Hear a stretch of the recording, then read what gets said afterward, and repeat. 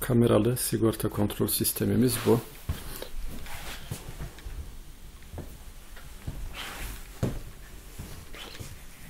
Kontrol edeceğimiz ürün işte sigortalar, röleler. Bu da kontrol eden yazılım. Şimdi kameranın altına koyalım.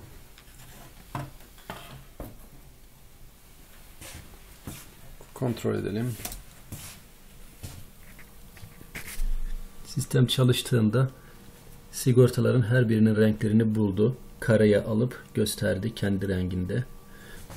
Sol tarafta da rölelerin yeşil, pembe, mavi ekranda tam gözükmüyor olabilir ama şöyle yaparsak daha net göstermeye çalışayım. Kırmızı, yeşil. Burada da sigortalar. Tekrar değiştirelim. Birkaç tanesini değiştirelim. birkaç şey tıkalım.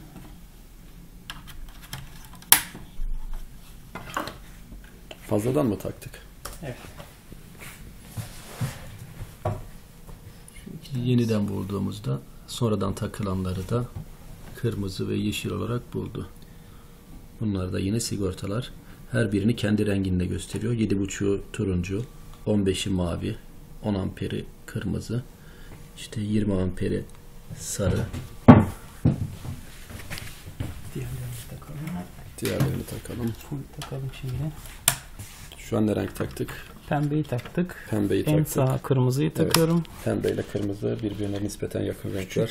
Küçük röleri rastgele bir yere Kırmızı mı takalım. taktık? Rastgele evet. Hı hı. Tamam onu bir on, bunu da şuraya takalım. Tekrar koyalım. Gerçek üründe bunun çok daha fix bir yere oturması lazım. Şu an e, elle koyuyoruz. Sağa sola 1-2 santim kadar hareket edebiliyor.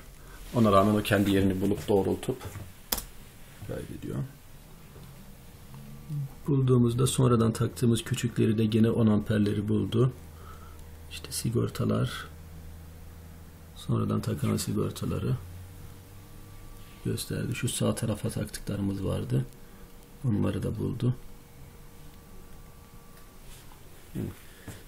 Sistem demo sistem olmasına rağmen yapılan bütün farklı varyasyonlarda gayet düzgün çalışıyor.